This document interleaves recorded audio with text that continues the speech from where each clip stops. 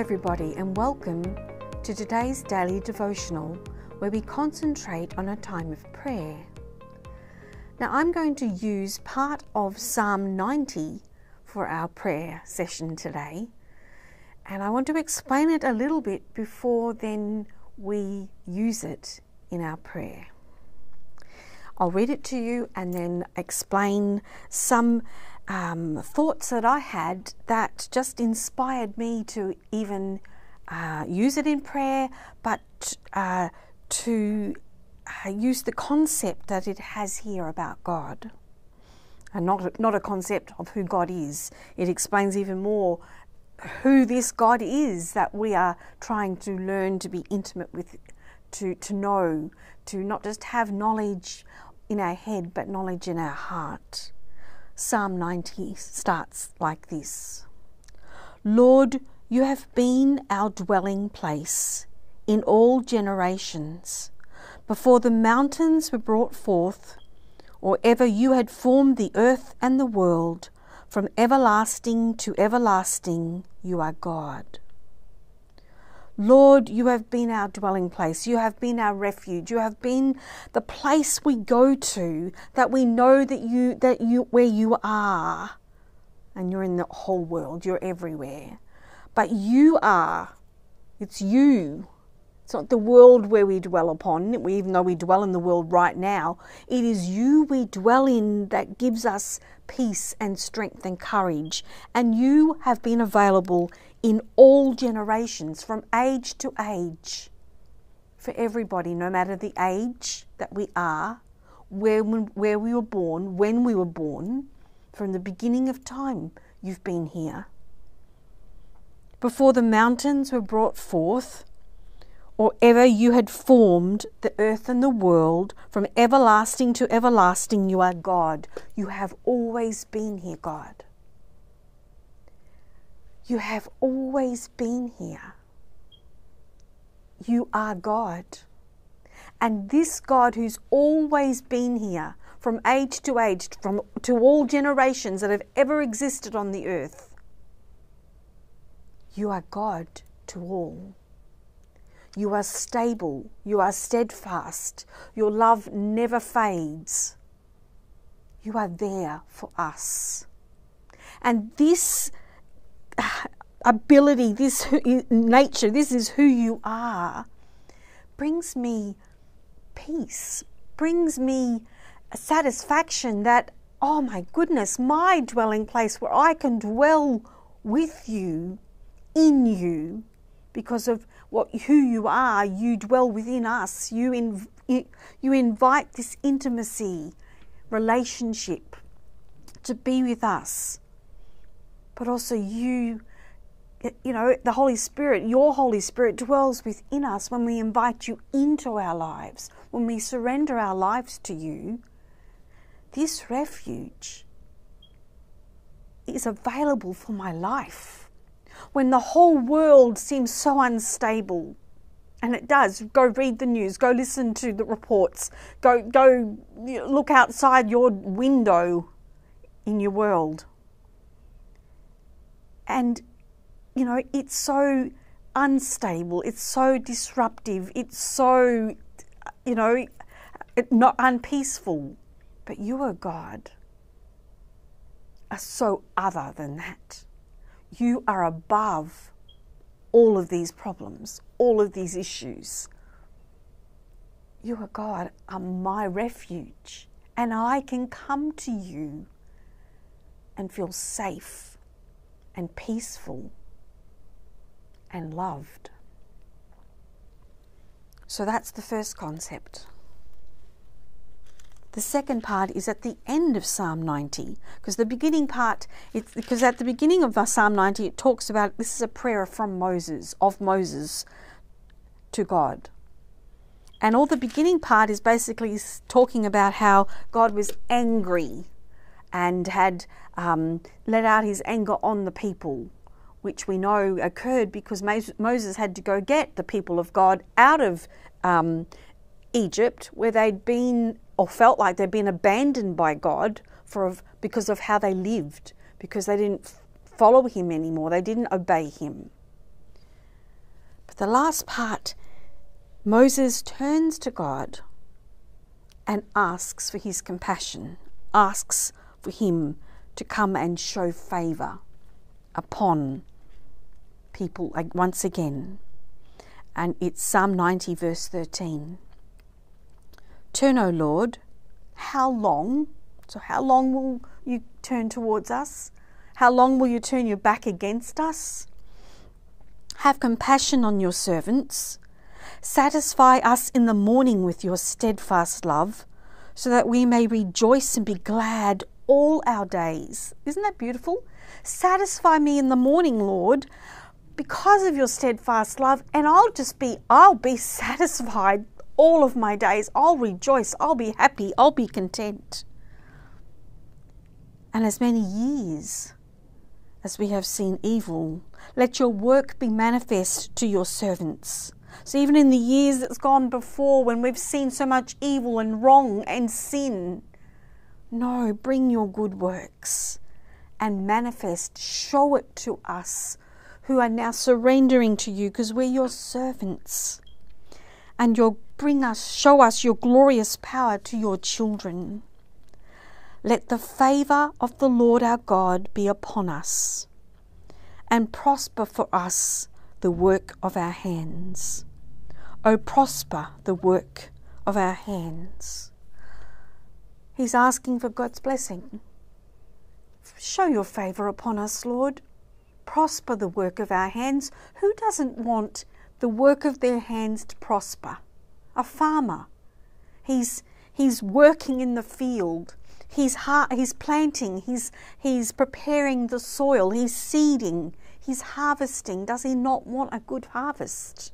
The work of his hands. Parents who bring children up, aren't they the work of their hands? Anyone in business, however their whatever the business is, don't they want it to prosper? The work of their hands? And we ask our God to favour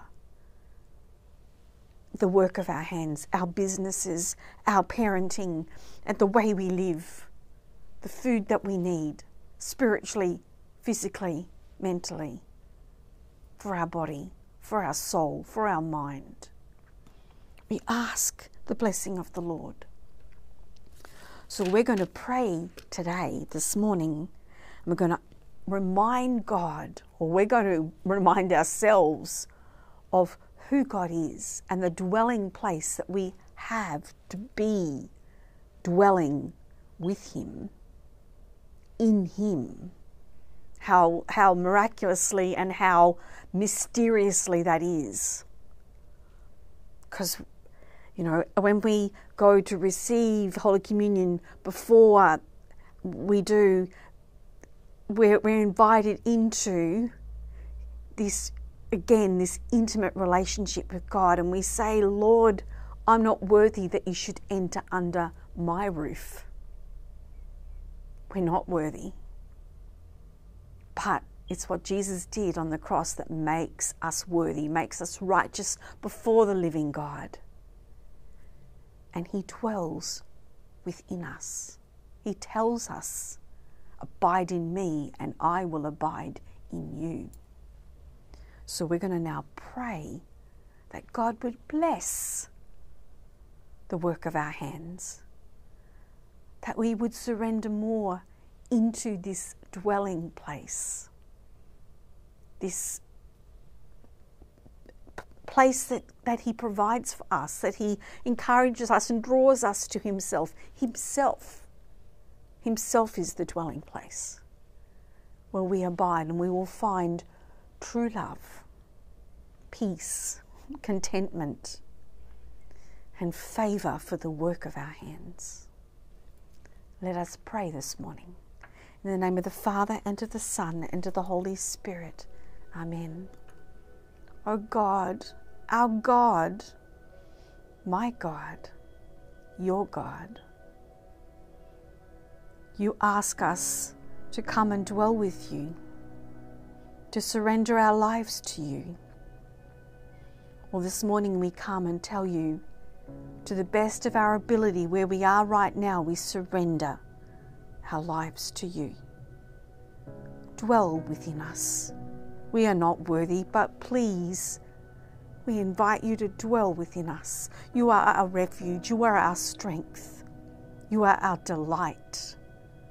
What a beautiful word, Lord. Delight. You such delightful. How delightful you are to be with you, Lord. How delightful it is. How wonderful are you. Lord, we come today and we ask for your favor. We ask you to bless the work of our hands, whatever the work that we are doing right now is. The work might be just spending time with people, loving them, sharing with them, caring for them. Not necessarily feeling like you're building or working something, but working in what you desire us to do. What's our purpose, Lord, right here, right now? Bless us. Show us your favor. Oh God, help us to see the fruit of the works of our hands. Lord God, may we somehow touch the world for you, be bold and share about you.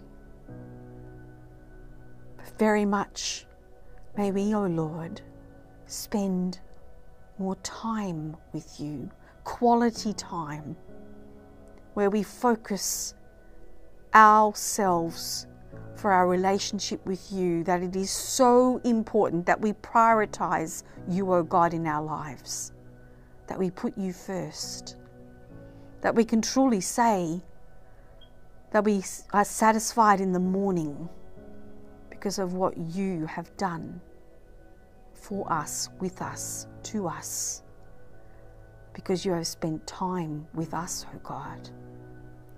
How precious you are.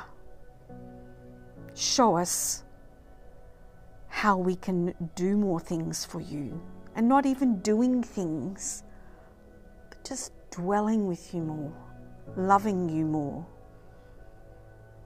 as David said, Create in me a clean heart, O God, and put a new and right spirit within me,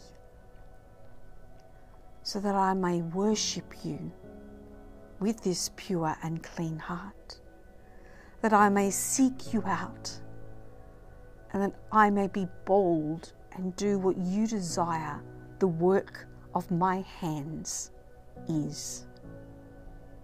And we ask all of this with your strength, with your ability, with your spirit dwelling within us. In the name of the Father, and of the Son, and of the Holy Spirit. Amen. How blessed it is to know that we have this refuge in our God, this dwelling place. Forever and ever, from everlasting to everlasting, no time restraints no generational restraints. God is there. He is God. And He invites us into this wonderful relationship with Him. I pray for myself that I accept Him every day. Pray for yourself. Pray that God would entice you even more to come and spend time with Him. Have a blessed day, and I'll see you again next week.